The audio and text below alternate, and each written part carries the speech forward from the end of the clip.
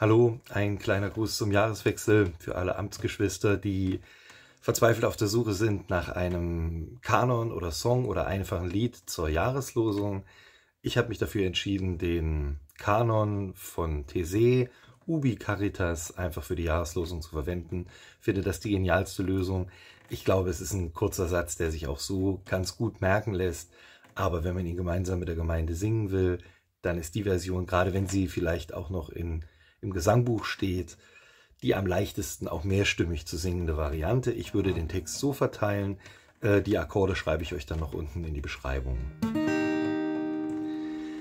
Alles, was ihr tut, geschehe in Liebe. Alles, was ihr tut, geschehe in